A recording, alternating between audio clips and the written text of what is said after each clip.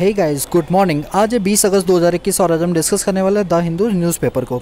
दोस्तों, इस न्यूज़पेपर में आज बहुत ज़्यादा खास न्यूज़ नहीं है, लेकिन जो कुछ खास न्यूज़ है हमारे एग्ज़ाम प्रोस्पेक्टिव से, हम उनको डिस्कस करेंगे।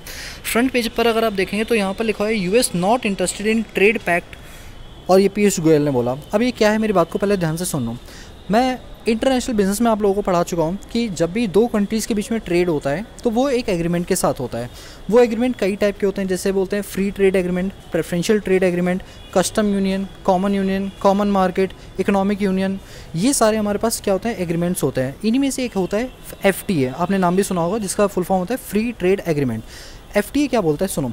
एफटीए बोलता है कि अगर दो कंट्री के बीच में इन्होंने आपस में एक एग्रीमेंट कर लिया और वो एग्रीमेंट कौन सा है? एफटीए का। तो उसके तहत ये होगा कि दोनों कंट्रीज़ आपस में एक्सपोर्ट इम्पोर्ट करते टाइम कोई भी टैक्सेस इम्पोज नहीं करेंगे। याद रखना ये मेंबर कंट्रीज़ के लिए लेट सपोज़ जैसे मैं इंडिया की बात करता हूँ। इंडिया ने अपना यूएस के साथ एक रिलेशन डेवलप किया है। इंडिया ने यूएस के साथ एक रिलेशन डेवलप किया हुआ है और उसमें बोला उन्होंने कि हम आपस में जो भी व्यापार करेंगे, उसमें कोई भी कंट्री इन दोनों कंट्रियों में आपस में क्या हुआ टैक्स चार्ज नहीं करेगी। तो वो कब नहीं करेगी? जब वो दोनों एफटीए करेंगे फ्री ट्रेड एग्रीमेंट जैसे यूएस और इंडिया ने एक एग्रीमेंट साइन किया, उसका नाम है एफटीए तो अब अगर यूएस से कोई माल आएगा तो मैं उस पर कोई इम्पोर्ट ड्यूटी चार्ज नहीं करूँगा और मेरा माल वहाँ जाएगा तो वहाँ वाली गवर्नमेंट अपना इम्पोर्ट ड्यूटी चार्ज नहीं करेगी। तो ऐसे में जो ट्रेड है, उसको बढ़ावा मिला। व्यापार है, उसको क्या मिला? बढ़ावा मिला क्योंकि टैक्स लगा लेने से गुड्स की कॉस्टिंग बढ़ जाती है और कॉस्टिंग बढ़ती तो इंटरनेशनल लेवल में माल हमारा महँगा हो जाता है और डिमांड कम होने लगती है। तो ऐसा ना हो तो मेंबर कंट्रीज़ मेंबर कंट्रीज़ आपस में एग्रीमेंट कर लेती है, उसको बोलते हैं एफटीए जब तक यूएस के अंदर जॉय बाइडन की सरकार नहीं आई थी। पुराने प्रेसिडेंट जो हमारे डोनाल्ड ट्रंप है, जब उनकी सरकार थी तो हमारे उनसे रिलेशंस अच्छे थे अमेरिका के साथ।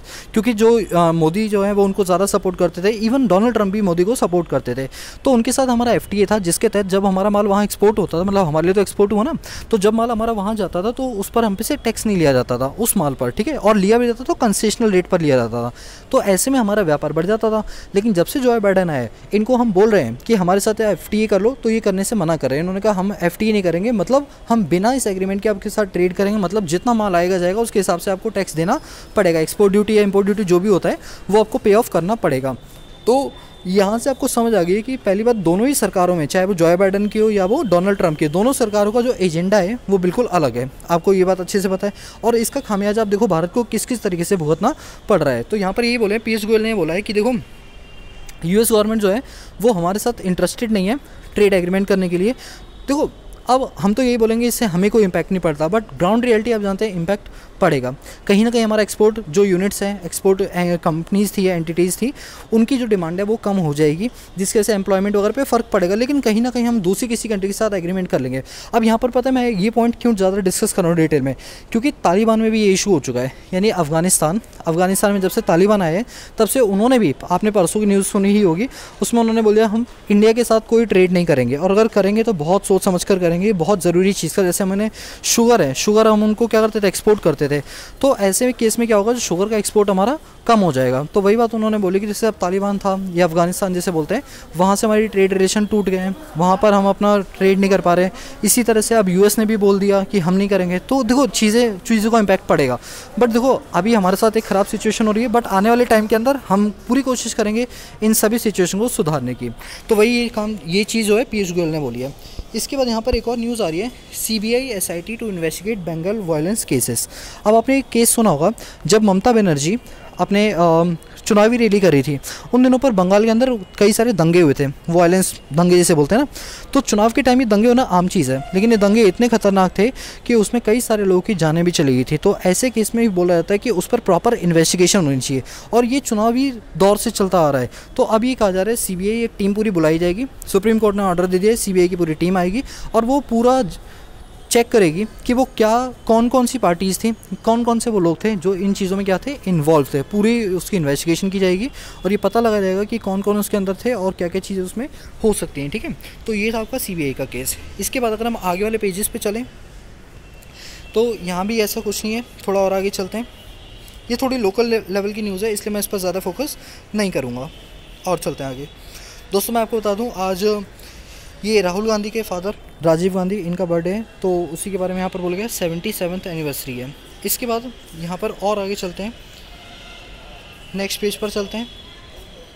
ये कोविड से रिलेटेड है, इसको अभी हम डिस्कस नहीं करेंगे, थोड़ा सा लोकल लेवल का है इस वजह से। एग्ज़ाम प्रॉस्पेक्टिस वाली न्यूज़ देखते हैं, और आगे चलते हैं। इसमें ये भी लोकल लेवल का, ये हमारे एग्ज़ाम प्रॉस्पेक्टिव से बिल्कुल भी ज़रूरी नहीं है। चलिए। मैं आप सीधा, आज हमारे बिज़नेस सेक्शन पे भी ज़्यादा न्यूज़ अच्छी खासी नहीं है एडिटोरियल को पढ़ते हैं। यहाँ एडिटोरियल में दे रखा हुआ है कि अभी आपको पता ही हो जो मॉनेटरी पॉलिसी कमेटी है, वो साल में छः बार मीटिंग करती है। मिनिमम चार करनी होती है मैक्सिमम छः कर सकती है, यानी हर दो दो महीने पे मीटिंग करती है।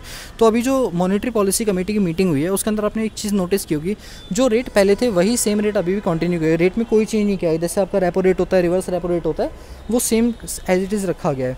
क्योंकि आरबीआई का ये मानना है कि जैसे, जिस तरह से इन्फ्लेशन जो है, बढ़ती जा रही है, उस हिसाब से अगर हमने रेट के साथ छेड़छाड़ किया तो ये हमारे नेगेटिव प्रोवाइड करवा सकती है।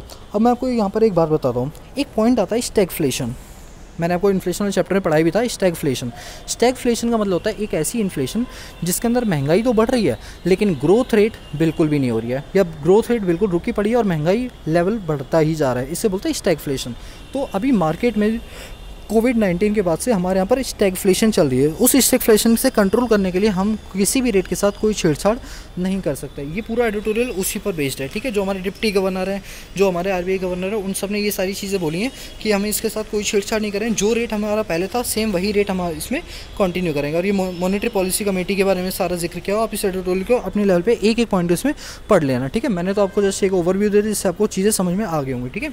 इसके बाद है आर्म्स एंड वुमेन अब आपको बताओ, कल के न्यूज़पेपर में मैंने आपको बताया था एनडीए के अंदर अब महिलाओं की भी भर्ती होनी स्टार्ट हो गई है, ठीक है, एनडीए के अंदर।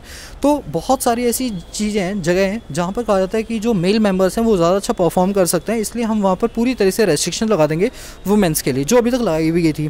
बट यहाँ पर वुमेन एम्पावरमेंट को एक तरफ़ हम बढ़ावा दे रहे हैं और एक तरफ़ कुछ एग्ज़ाम्स में वुमेंस की रेस्ट्रिक्शन कर रहे हैं।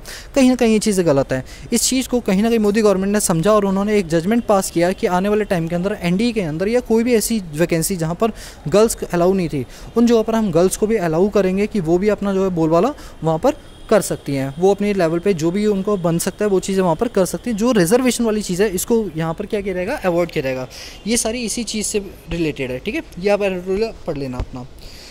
इसके बाद यहाँ पर ऊपर वाला एडिटोरियल बात करें तो आ, ये भी एडिटोरियल कोई खास नहीं है। इसके अंदर कोविड नाइन्टीन से रिलेटेड जो डेथ केसेस हैं उसके बारे में बोला गया। बेसिकली एडिटोरियल क्या बोलते हैं मैं आपको ऊपर ऊपर से बता दूँ, क्योंकि ज़्यादा देखो, कोविड नाइन्टीन की तो न्यूज़ एक तरह से न्यूज़ चैनल जैसी लगने लगती है, ठीक है?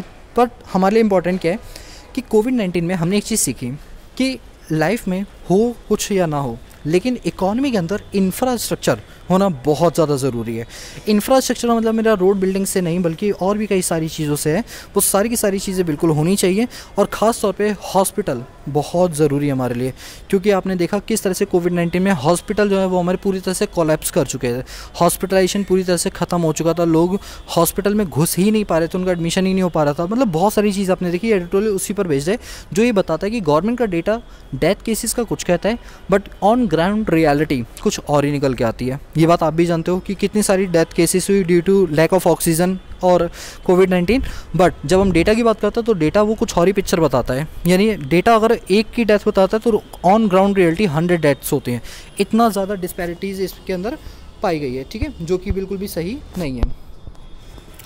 तो ये सारा डेटा आपका ये एडिटोरियल उसी पर बेस्ड है। आप इसको पढ़ लेना। इसके बाद ये सारी आपकी आ, लोकल न्यूज़ है मैं इस पर ज़्यादा फोकस नहीं करूँगा। और यहाँ पे आपको पता ही होगा, कुछ टाइम पहले मैं मैंने आपको न्यूज़ में बताया था कि जो 50 परसेंट जो रिजर्वेशन कोटा है ओबीसी का, उसको कर दिया गया है, ठीक है? अब एक बात मैं आपको बताऊँ, कोई भी जैसे मेजर अमेंडमेंट होती है, चुनाव के टाइम होती है रीज़न क्योंकि यहाँ से वोट बैंक भरने के सबसे ज़्यादा चांस होते हैं, और जितने भी दलित दलित लोग होते हैं या अंडर प्रिवलेज सोसाइटीज़ होती हैं, इनको कोटा बहुत पसंद है। तो ये कहा जा रहा है बिहार में और भी कई जगहों पर अभी चुनाव होने वाले हैं तो उन चुनावों के लिए अब उन्होंने मुद्दा किसको उठाया? ओबीसी को। तो ये एडिटोरियल में ये जो फ़ोटो आप देख पा रहे हैं, किस तरह से इलेक्शन ओपनर की तरह काम कर रहा है और बोतल पे लगी ढक्कन, एक कैप जो है वो फिफ्टी परसेंट की लिमिट का दर्शा रहा है। तो आप समझ गए होंगे इस चीज़ से, ठीक है? इसके बाद अगर हम आगे चलें, आगे चलते हैं, आगे भी हाँ ऐसा कुछ भी नहीं है। यहाँ पर बोला गया कि अफ़गानिस्तान, जिसको तालिबान ने कैप्चर कर लिया, अब वहाँ पे पूरी तरीके से तालिबान की सरकार बनने ही वाली है समझो, ठीक है? इवन उन्होंने अपना झंडा भी, जो तालिबानी झंडा है वाइट कलर का ब्लैक कलर से उर्दू में कुछ लिखा हुआ है, वो सब उन्होंने अपना डिक्लेयर कर दिया है। अब ऐसे में क्या है, कई सारे इंडियन स्टूडेंट इंडियन डिप्लोमेट्स और इंडियन फैमिलीज़ वहाँ पर फंसी हुई है। उनको लाने के लिए हमारे यहाँ पर जो मिनिस्ट्री ऑफ़ एक्सटर्नल अफेयर विदेश मंत्रालय है, उन्होंने पूरी लिस्ट तैयार कर दी है आई थिंक 248 लोग अभी वहाँ पर फंसे हुए हैं और उनकी पूरी लिस्ट बाकायदा सब बन गई है। अब बस इंतज़ार है तो अब उसका एग्जीक्यूशन का कि कब वहाँ पर जाके हमारा प्लेन जो है, वो उन सभी लोगों को लेकर आएगा क्योंकि वहाँ की सिचुएशन बहुत ज़्यादा कायोटिक हो गई है। तो ये जो है मिनिस्ट्री ऑफ़ एक्सटर्नल अफेयर की फ़ोटो देख सकते हैं, किस तरह से लोग वहाँ पर लगे पड़े हैं और ये आइडेंटिफाई करें कि ऐसे कितने ऑन रिकॉर्ड लोग हैं जो वहाँ पर फंसे हुए हैं। ठीक है? चलिए, इसके बाद देखो, आगे अगर आप देखोगे आगे आपको कोई ऐसी न्यूज़ अब नहीं मिलेगी जो आपको पढ़ाने लायक हो, ठीक है? बस सारी लोकल न्यूज़ है, इस वजह से मैं अब इसको ज़्यादा मतलब कंसिडर नहीं कर रहा। आज का हिंदू न्यूज़पेपर हम यहीं पर ख़त्म करते हैं। छोटा सा था, क्योंकि आज ज़्यादा अच्छी न्यूज़ इसमें नहीं थी, ठीक है? चलिए तो आज के लिए इतने, बाकी मिलते हैं नेक्स्ट क्लास में। तब तक के लिए पीस आउट